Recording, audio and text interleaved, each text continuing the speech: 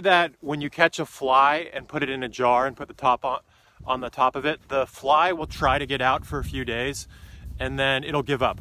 And you could basically put the, the uh, take the jar back off the, uh, the top back off of the jar and the fly will just stay there forever and uh, never try again. I haven't actually tried that, but that's what they say.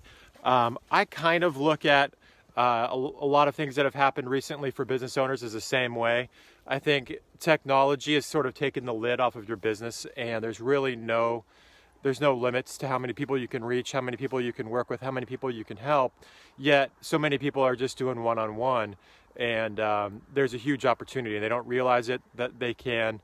Um, you know, they can 10x their targets, even if they've kind of plateaued for the last few years. You know, it's time to uh, to 10x your targets and try something different, become somebody different in order to get to that next level.